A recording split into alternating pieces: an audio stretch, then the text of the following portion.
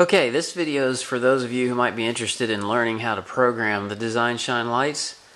There are a few features of these lights that you may like to change, enable or disable or alter in some way depending on your battery that you may be using.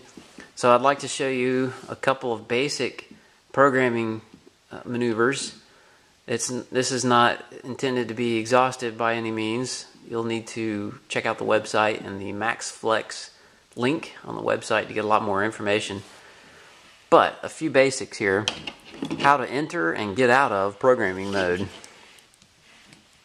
Entering programming mode is essentially a two handed operation here. You have to hold down the power button at the same time that you're connecting the battery. Alright, so hold down power while you connect the battery, and the light will flash a couple times and go to a dimly lit mode, indicating I'm now in programming mode. So, once you're in programming mode, you now have access to a menu driven programming system. There are 13 menu items that you can have access to, and you really only might need a couple.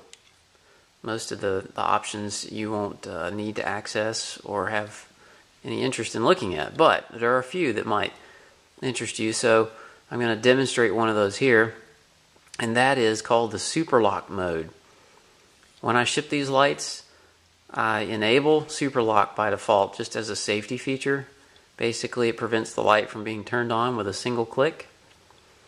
Uh, it's great if you have kids or if you just want to prevent uh, any accidental turn on, but you know, some people may not like it. So you can turn it on or off very easily through the programming menu.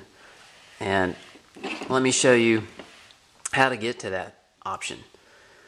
Super Lock is menu item 4. So I'm going to click this button four times, essentially, to select Super Lock mode. So every time I flash, or every time I click, one, it's going to flash to acknowledge. Two, flashes again.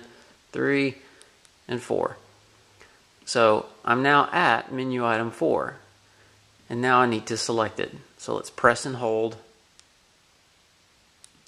Now I've selected menu item 4. Now just as a side note, if you get lost in the counting of the clicking, you can always just disconnect power and start over. That's usually the best thing to do if you get confused. So I'm at menu item 4. Now that I've selected it, it's like a pull down menu on your PC. You've got options now underneath the super lock mode. Option 1 is disable, option 2 is enable.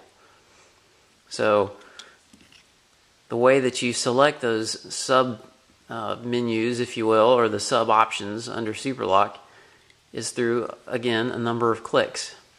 So in this case, to disable SuperLock, it's a zero click operation. It seems, sounds kind of funny, but it's basically do nothing. And so with zero clicks, if I select it now, that's going to disable SuperLock. So let's select, now that I'm in mode 4 or menu item 4, I've not clicked the button again, and now I'm going to press and hold to select the disable option. Press and hold, it flashes twice and goes back to programming mode. Okay, at this point I can turn it off and now I can turn it on with a single click. But let's say I want to re-enable super lock mode. Well, I've got to get back into programming mode. Press and hold the power button. Reconnect power. Now I'm in programming mode. So very quickly, let's go through the menu item one, two, three, four. Now that I'm at menu item four, let's select it by pressing and holding. And now instead of the zero click submenu item, let's click it once, which is the enable. You can see after I clicked it once, it got brighter, telling me that I clicked it once.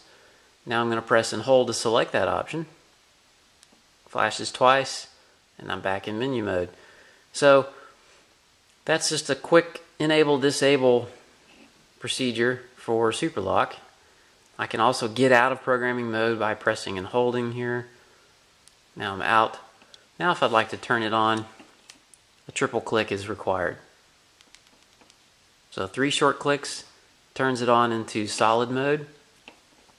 If I'd like to get into blinking mode with super lock enabled, it's two short clicks followed by press and hold until flashing starts. So two clicks, press and hold.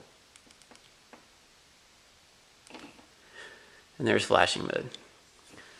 So if you'd like to learn more about the programming features, check it out on the website. Click MaxFlex and you can have access to the programmer's manual there. And uh, appreciate you looking at the video today. Thanks. Bye.